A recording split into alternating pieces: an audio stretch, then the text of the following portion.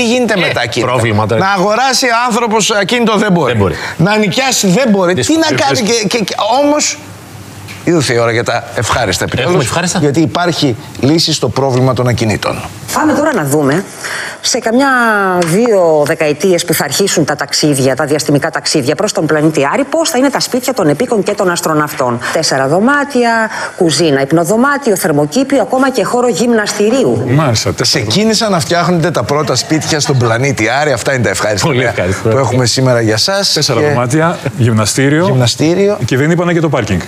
Ε, από πίσω μεριά, ειδικά μεγάλη αλάνα. Πολύ ωραία. Α, ναι. Και άμα βρούμε και νερό και πισίνα. Να δεις Άμα. που θα κάνουμε βλακεία και αυτοί που μένουν στον Άρη από την Κυφυσία θα κατεβαίνουν.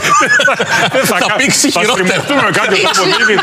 Και φυσία για να Θα βγουν. έχει κόμβο στην Κυφυσία. Το ευχάριστο λοιπόν είναι ότι Τέσσερα ξε- δωμάτια. ξεκίνησαν τα πρώτα ε, σπίτια να κατασκευάζονται στον Άρη και βέβαια υπ- υπάρχουν και τα αντίστοιχα μεσητικά γραφεία εδώ στην Ελλάδα. Α, γιατί λοιπόν. υπά- είναι τόσο μεγάλο το πρόβλημα των ακινήτων που κατευθείαν έχουν, ξε- υπάρχει ενδιαφέρον. Θέλει ο κόσμος, ειδικά οι Έλληνες, όπως λέμε και εμείς στο τραγούδι, να πάω στον Άρη. Δεν λέει κάπου. βεβαίως, ξεκάθαρα. θέλουν να πάνε στον Άρη, να σωθούν ε, το πρώτο διαφημιστικό μεσητικού για τα ακίνητα στον Άρη.